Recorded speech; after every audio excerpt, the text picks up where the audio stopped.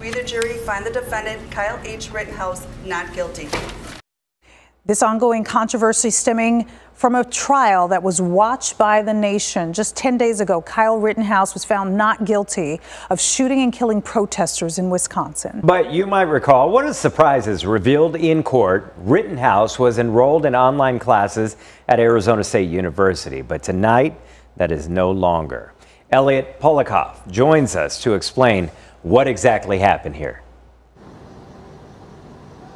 Javier and Yetta, Kyle Rittenhouse is no longer enrolled in classes at Arizona State. But for several student organizations here, the fight to not be associated with Rittenhouse isn't over. A previously planned rally for Wednesday, it's still scheduled to be happening.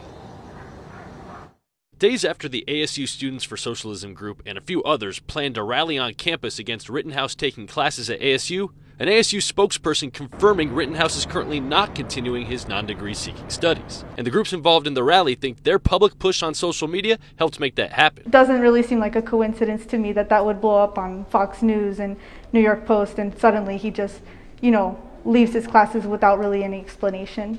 But without any assurances that Rittenhouse will remain separated from the university, the rally is still on for Wednesday. Students don't feel safe with the prospect of even having someone like Kyle Rittenhouse here at ASU. The student groups participating in the rally created a list of demands for ASU leaders, including that ASU releases a statement against white supremacy and acknowledges that Rittenhouse is, quote, a racist murderer, end quote.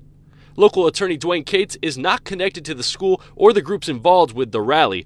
We asked his legal opinion about what those groups wanted from ASU as it relates to Rittenhouse if they went through with the rest of the demands and called him a white supremacist and all these other things, they would be setting themselves up for a libel slander suit, which he's already got a lawyer and there's already, already a lot of people going to be sued over this.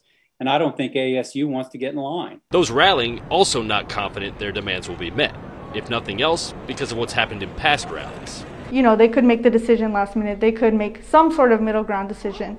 Um, ultimately, we want the demands to be met fully, but we don't think that they'll you know, pursue them as seriously as we think that they should. There are still a lot of unanswered questions surrounding Rittenhouse not being enrolled in classes at ASU, in large part because Rittenhouse hasn't released any public statement about it. There's also the question of if he could re enroll at ASU at a later date. I asked that question to an ASU spokesperson. He has not gotten back to me. Of course, we will keep you develop, updated on this developing situation. For now, live in Tempe, Elliot Polikoff, Arizona's family.